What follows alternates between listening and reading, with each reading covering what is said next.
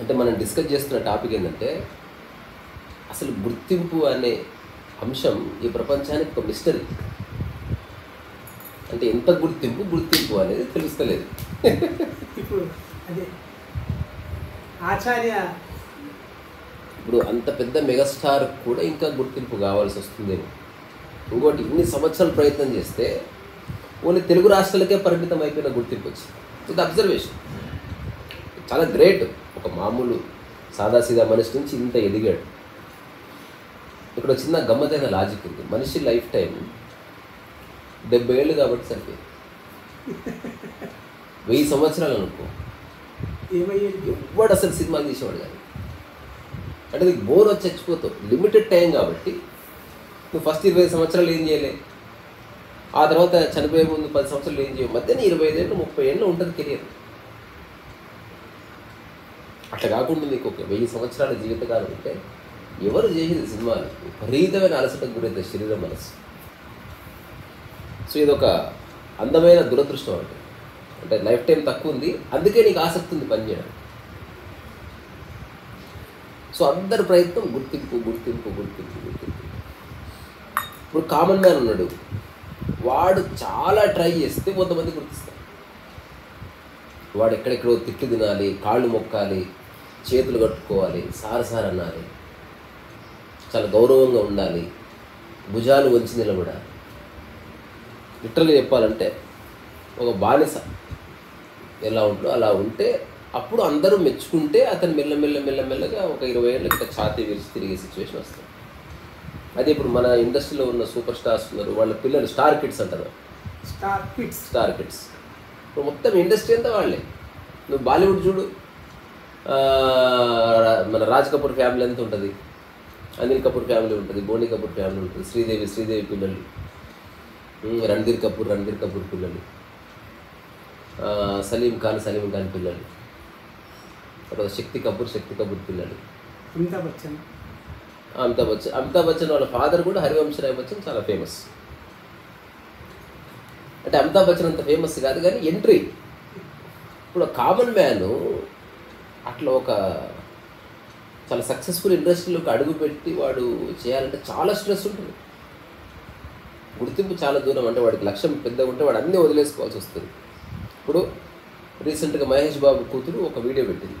Dance చేసుకుంది. అంతకంటే అద్భుతంగా చాలామంది డ్యాన్స్ చేస్తారని ఎవరు చూడరు.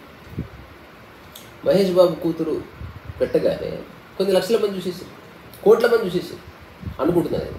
ఎందుకంటే ఎవ్రీ అంటే ఈ జనాలకు ఎందుకు ఆసక్తి ఒక స్టార్ అంటే ఆ స్టార్ కిడ్ అంటే వీళ్ళకి ఒక్క రూపాయి రాదు వాళ్ళ వల్ల. అంటే ఏ ఉపయోగం లేదు ఎందుకో మరి ఒక అకారణమైన ఆసక్తి ఉంటుంది. అంటే ఒక రకమైన అట్రాక్షన్ అంటే మనలో లేనిది అక్కడ కనిపిస్తుంది. మనం ఎలా ఉండాలో అది మన లైఫ్లో మేనిఫెస్టో లేదు. అందుకని అలా ఉన్న వాళ్ళని మెచ్చుకుంటుంది మనసు. అంతే సో ఈ గుర్తింపు కోసం తహతహలాడే ఈ ఒక ఒక అంటే రోగం అనలేం కానీ ఇది ఒక గమ్మత్తైన వ్యాధి లాంటిది. ఎందుకంటే ఎంత గుర్తింపు గుర్తింపు? అది నిర్వచించడం అసాధ్యం అసాధ్యం అసాధ్యం.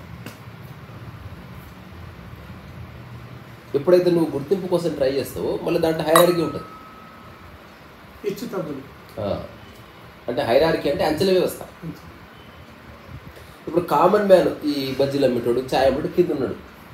వాడి రోజు పొద్దున్న ఏడెనిమిది మంది గుర్తిస్తారు. ఆ చుట్టుపక్కల ఉన్నవాళ్ళు ఇంటి పక్కోడు. ఏం ప్రశ్న బాగున్నా ఆ, బాగున్నా బాగున్నా. నమస్తే సార్ ఆ, నమస్తే నమస్తే. అంటే వాడు ఈగో సాటిస్ఫాక్షన్ ఎప్పుడు గుర్తించినవాడు వాడు వాడు అంతకంటే కోరుకునే వాడు అవకాశం వాడు తెలిసిపోయి ఆ తర్వాత ఒక ఉద్యోగస్తుడు ఉంటాడు. వాడిని ఒక వంద మంది గుర్తిస్తారు. ఉద్యోగంలో ఉన్నాడు కాబట్టి. నమస్కారం సార్ బాగున్నారా సార్? సార్ ఈ డాక్యుమెంట్ కదా సంతకం పట్టింది సార్. ఆయన రేపు అవుతుంది కాదు సరే సార్ మీరు ఎట్లా అంటే అట్లా మినిమం. వాడు నమస్తే పెడుతుంది ఉద్యోగానికి అన్న విషయం మర్చిపోయి వాడికి అనుకొని వాడు ఈవెన్చువల్గా ఆ భ్రమలో ఉంటాడు. ఇంకా ఆ తర్వాత కొన్ని సెలబ్రిటీస్ లేకపోతే ఈ బ్యూరోక్రసీలో హైరార్కీ అంటే ఐఏఎస్ ఐపీఎస్ ప్రిన్సిపల్ సెక్రటరీ వరకు. ఇట్లా సమాజంలో చూసుకుంటే సెలబ్రిటీస్ ఇప్పుడు జబర్దస్త్లో ఉండే సెలబ్రిటీ ఒకడు. అదే జబర్దస్త్లో ఆ, ఉన్న నాగబాబు అంటే చిరంజీవి వాళ్ళ బ్రదరు వాళ్ళ అబ్బాయిని జబ జబర్దస్త్లో యాక్ట్ చేయిస్తాడు చూడు. అంటే ఈ చిన్న విషయం అర్థం చేసుకుంటే తప్పట్లేను అక్కడ సమాజం అలా ఉంది.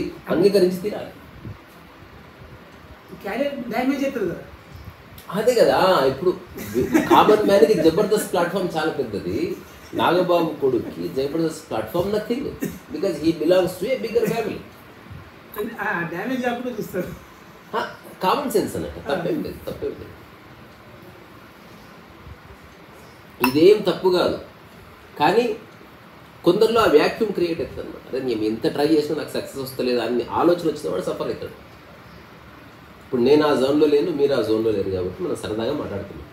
అంటే ఎవరిని కించపరుస్తలేం అలాగే నాకు తప్పు కరెక్ట్ అని అంటలేం judgement చేస్తలేం observation so being in the society you should know know what this society is and how this society functions and where exactly you fit in to the context of society అనేది తెలుసుకొని తీరాలి. లేకపోతే తప్పకుండా suffering ఉంటుంది. So అట్లా hierarchy చూస్తే మళ్ళీ ఈ స్టార్స్లో మళ్ళీ ఇప్పుడు శ్రీకాంత్ అనే వస్తారు వాడు స్టారే సరే ఆయన కూడా స్టారే అతను వస్తే కొన్ని వందల మంది వస్తారు. కానీ హఠాత్తుగా అక్కడికి బాలకృష్ణ వచ్చాడు అనుకో ఇక్కడ ఉన్న జనాలంతా అతని దగ్గర పోవాల్సింది. ఎందుకంటే ఇతనికంటే అతను పెద్ద స్టార్ కాబట్టి. సో బాలకృష్ణ ఉండగానే చిరంజీవి వచ్చాడు అనుకో మేబీ జనాలంతా చిరంజీవిని అప్రిషియేట్ చేయొచ్చు. ఎందుకంటే చిరంజీవి మేబీ ఇతనికంటే ఊరికే ఒక అవగాహన కోసం. అందులో అమితాబ్ బచ్చన్ వచ్చాడు అనుకో వీళ్ళందరూ చిన్న సెలబ్రిటీస్ అవుతారు ఇప్పుడు చిరంజీవి బాలకృష్ణ వీళ్ళంతా. Amitabh Bachchan is pan India scale అదే ఒక జానీ డెప్పు లేకపోతే మన బియాన్సే లేకపోతే ఒక మైకేల్ జాక్సన్ ఇట్లాంటి వాళ్ళు వచ్చారు అనుకో దే ఆర్ వరల్డ్ సెలబ్రిటీస్ కథం వీళ్ళంతా బచ్చగాళ్ళు అంతే ఇప్పుడు మెగాస్టార్ చిరంజీవి లాంటి వాడు బాలకృష్ణ లాంటి వాడు ఎంత ప్రయత్నం చేసినా ఒక బియాన్సీ అంత ఫేమస్ కాదు. అంటే ఆ అమ్మాయి ఒక సింగర్ అంత ఫేమస్ కాదు లేకపోతే ఒక జూలియా రాబర్ట్స్ అంత ఫేమస్ ఫేమ్డం రాదు లేకపోతే ఒక చార్లీ చాప్లిన్కి వచ్చినంత నేమ్ రాదు. Because they represent the world వాళ్ళ వాళ్ళ కబ్జా ప్రపంచం మీద ఉంది. వీళ్ళు ఇంత ప్రయత్నం చేస్తే రెండు రాష్ట్రాల్లో పరిచయం లేదు స్ట్రేంజ్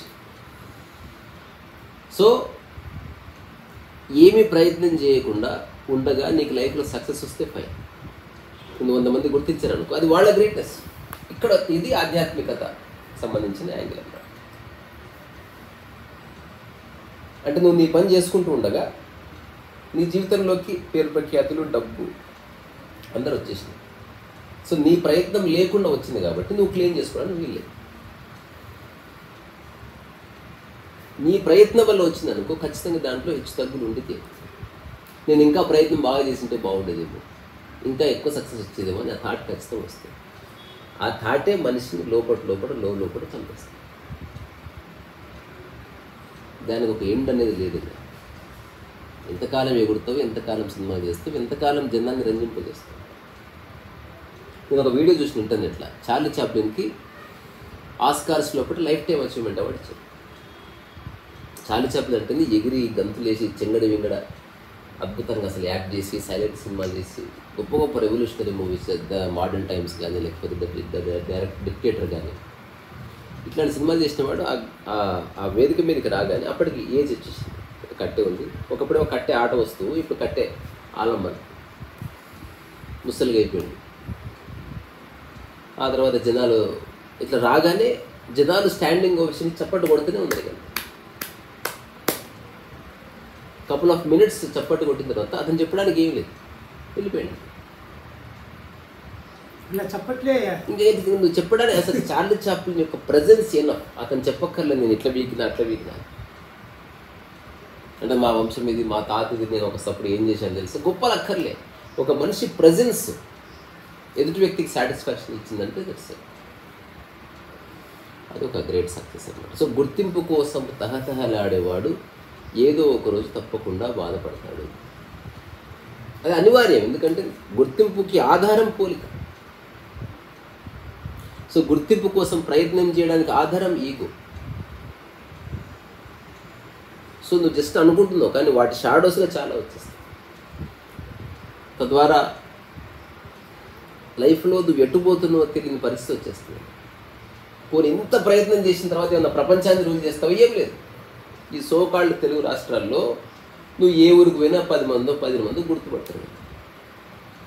అంతకు మించి ఒరిగేది ఏం లేదు.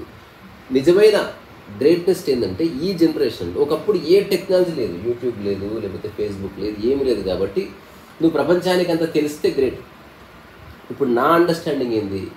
ఇన్ని ఉన్నాయి కాబట్టి నువ్వు ఏం చేసినా తెలుస్తుంది.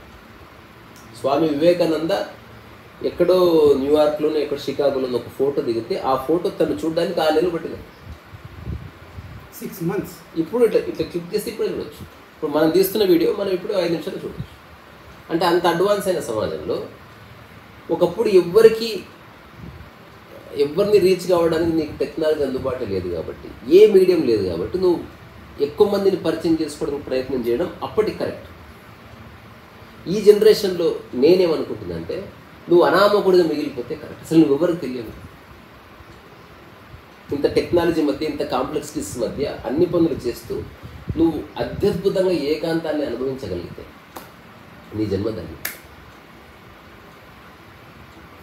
సో ఇప్పుడు అన్ని పనులు అలాగని పారిపోయి ఎక్కడ హిమాలయాల్లోకి వెళ్ళకూడదు. ఇక్కడే ఉండాలి. ఇక్కడే ఉండాలి. ఇక్కడే ఉండి మనకు సాధ్యమైన అన్ని పనులు చేస్తూ పరిపూర్ణ ఏకాంతంలో హాయిగా సో ఇది నిజమైన అంటే నిన్ను నువ్వు గుర్తించుకోవడం నిజమైన గుర్తింపు వేరే వాళ్ళు గుర్తించడం కాదు. కానీ సమాజం అంతా వేరే వాళ్ళు గుర్తించాలన్న మాయలో నిరంతరం పరిభ్రమిస్తుంది. తనకు తాను మర్చిపోయాడు ఇది ప్రపంచం. ప్రకృతి అంటే నిన్ను నువ్వు మర్చిపోవడం. ఆధ్యాత్మికత అంటే నిన్ను నువ్వు గుర్తించడం ఇంతే.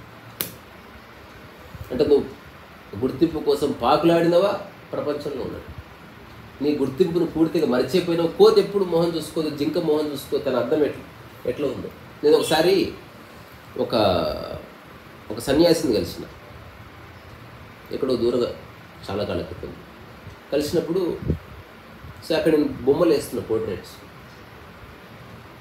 సో ఎవరు అడిగారు ఆ- ఆ- ఆ స్వామీజీ బొమ్మ వేస్తారా? అంటే అతను చిన్నప్పుడు సన్యాసి దీక్ష తీసుకున్నాడు. సో అతను ఏమన్నాడంటే నా నాది వేయకండి పోనీ మీకు వేయాలనిపిస్తే వేసుకోండి. కానీ నాకు చూపించొద్దు అని ఎందుకు అంటే అప్పుడు తెలిసింది నాకు వాళ్ళ సన్యాస దీక్షలో వాళ్ళు ఎప్పుడు వాళ్ళ మొహం వాళ్ళు చూసుకోరు.